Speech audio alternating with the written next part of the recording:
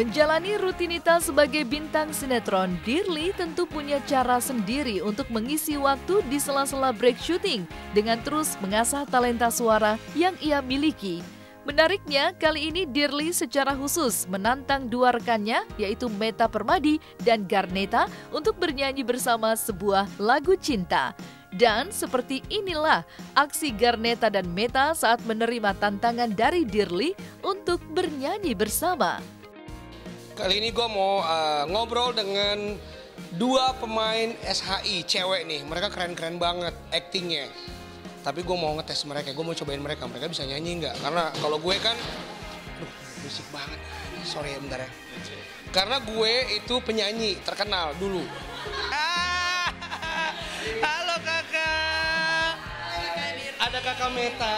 Ya boleh kipas ya, kipas panas. Ada kakak Garnet. Hai. Kalian pasti, pada benci nih, kalian pasti kenal mereka kan? Kenapa mereka benci sama lo? Karena jadi jahat mulu. Aja, aku juga benci kok sama lo. Masa? Iya. Dalam hatinya? Karena lo tolak cinta gue. Um, kalau acting nggak usah diragukan lah ya, mereka ini jago-jago gitu ya. Baru mau gue ngomong, apalagi Meta kemarin habis menang. Dia pemen- pemeran wanita terpuji Festival Film Bandung. Weh, keren banget, bangga banget gue bisa syuting sama Kak Meta. Oh my god, Kak nanti foto ya.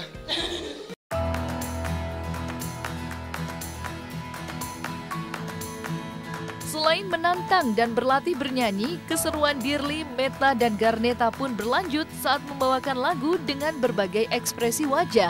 Mulai dari ekspresi wajah sedih hingga ekspresi wajah marah. Menariknya, berkat kemampuan akting Garneta dan Meta, keduanya pun berhasil mendendangkan lagu-lagu dengan berbagai macam ekspresi. Dan seperti apa juga sosok Dirli bagi Garneta dan Meta saat berada di lokasi syuting Kita punya konser berjalan. Mau Lo mau tahu alasannya kenapa? Kenapa gue kalau syuting suka nyanyi? Karena kan gue nggak nyanyi lagi sekarang. Jadi di mana-mana harus nyanyi untuk meluapkan gue. Gue sedih sampai nangis nih. Gara-gara corona ini kan nggak ada panggung buat gue kan. Jadi akhirnya ya, ya gue jadi nyanyi aja di sini. Kadang ganggu sih sebenarnya. Enggak sih sebenarnya enggak lah, enggak ganggu. Enggak kan? Oh makasih loh, makasih loh. Oh makasih. Kalau di lokasi ada piano. Ya ada piano udah pasti main. Dia pasti main. Dia bisa main piano juga keren. sambil nyanyi. Terus kita kan jadi ngikut kan. Ya udah seru-seruan aja kalau emang lagi nunggu take. Iya. Suka suaranya, suka kelakuannya yang selalu bikin kita ketawa terus di lokasi. Ya tapi setelah aku benar-benar main sendiri, terjun langsung satu lapangan sama dia, eh, satu set, oke juga. Bagus, pendalaman karakternya oke loh. Hmm, cocok. Baik lah. Lumayan, lumayan banget banget. Eh, Aku juga baru ketemu. Ini judul kedua ya. Tapi kayak udah udah ketemu lama banget soalnya dia kalau ngomong terus-terusan gitu kayaknya udah terngiang-ngiang udah dari tahun lalu gitu. Ya. padahal, padahal baru dua kali ya kan. Ya menyenangkan syuting sama Dirli.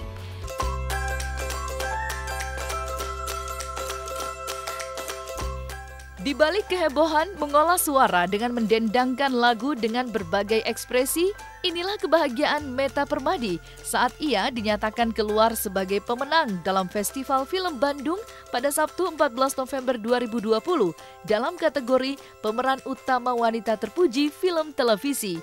Benarkah kemenangan ini menjadi sebuah kejutan yang spesial? Lantaran Meta tak menyangka kalau ia menjadi pemenang di kategori di ajang bergengsi itu? bener-bener nggak nyangka sama sekali.